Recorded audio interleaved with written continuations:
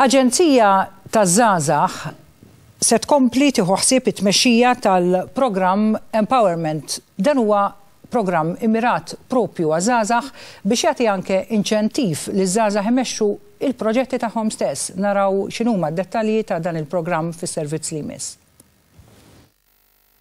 L-Aġenzija taż-Żgħażagħ se tieħu ħsieb it-tmexxija tal-programm ta' empowerment għaż-żgħażagħ.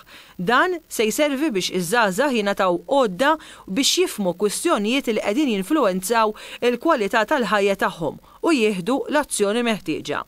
Is-Segretarju Parlamentari għaż-Żgħażagħ Clyde Puli fit-tnedija tal-programm għaż-żgħażagħ qal li l-edukazzjoni hija s-sies li fuqha huwa mibni l-pajjiż u l-investiment tal-Gvern fl-edukazzjoni u ma jieqafx biss mal-edukazzjoni formali. Iddeskriva l-programm bħala mezz ta' edukazzjoni formali li għandu jgħin liż-żgħażagħ fl-iżvilupp tagħhom. Il-programm se jitmexxa fuq livell nazzjonali u anke lokali u se jimmira li joħloq ambjent ta' tagħlim li jippermetti vuċi għaż-żgħażagħ, huma jkunu jistgħu jsiru ċittadini iktar attivi u jidentifikaw u jiżviluppaw il-potenzjal kreattiv tagħhom permezz ta' inizjattivi varji li jinvolvu djalogu strutturat u l-arti espressiva.